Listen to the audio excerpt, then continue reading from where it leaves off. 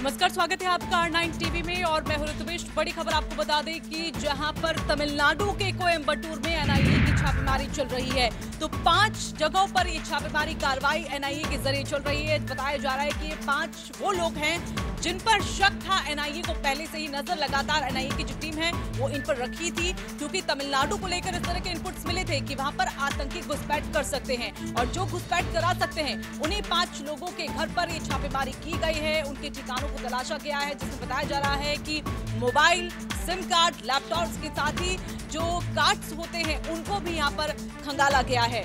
तो बड़ी खबर बता रहे हैं, कुछ दिन पहले ही जिस तरह के इनपुट्स तमिलनाडु को लेकर मिले थे, उसके बाद एनआईए के निशाने पर कुछ लोग थे और इन्हीं लोगों के ठिकानों पर फ़िलहाल कार्रवाई जो है वो एनआईए की तरफ़ से चल रही है।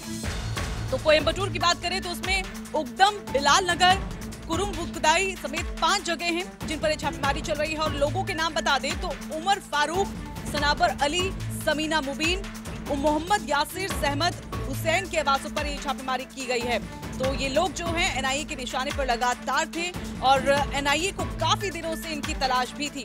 तो एनआईए की टीम की छापेमारी ऐसे समय में चल रही है, जब तमिलनाडु में आतंकियों के घुसने का इनपुट मिला है। एनआईए की टीम अब पता लगाने की कोशिश कर रही है कि क्या इन लोगों के आतंकियों से संपर्क हो सकते हैं या फिर नहीं। तो इसके लिए आपको बता दें कि कुछ लोगों से पूछताछ भी की जा रही है। तो बड़ी खबर, तमिलनाडु के कोयम्बटूर से, जहाँ पर पाँच ठिकानों पर एनआईए की टीम जो है छापेमारी कर रही है। उन लोगों के घर पर जिनको लेकर ये इनपुट मिले थे कि इनकी आतंकियों से कहीं ना कहीं साठगांठ हो सकती है और तमिलनाडु में ये उनकी घुसपैठ करा सकते हैं। बाकी अपडेट्स के लिए आप जुड़े रहिए आर नाइन टीवी के साथ।